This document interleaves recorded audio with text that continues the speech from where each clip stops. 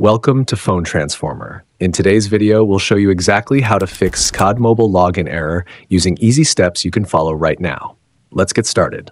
Step 1. First, unlock your phone and open the Call of Duty mobile app. Make sure you're signed in with the correct account. Step 2. If you see the login error on the menu screen, don't panic. Swipe down from the top of your screen to open the Quick Settings panel and check your network connection. Step 3. Find the Wi Fi or mobile data icon in the Quick Settings. Tap to turn it off, wait a few seconds, and then tap again to turn it back on. Then go back to the app and check if the login error is gone. If not, let's move to the next step. Step 4. Return to your phone's home screen. Press and hold the power button and volume down button together. When the menu appears, select the restart option. Tap again to confirm, and your phone will automatically restart. Step 5. Still seeing the error? It could be due to an outdated app version. Open the Play Store and tap the search bar.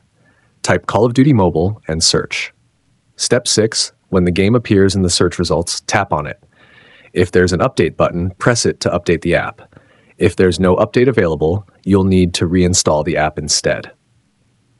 Step 7. To reinstall, tap the Uninstall button and confirm your choice. Once it's uninstalled, tap Install to download and reinstall the app again.